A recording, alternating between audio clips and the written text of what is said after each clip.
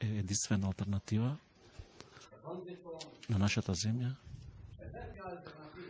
единствена алтернатива што нас не почитува, но и не сближува кон патот за зачленување на нашата земја во НАТО и отворање на преговорите за членство во, Европска, во Европската Унија.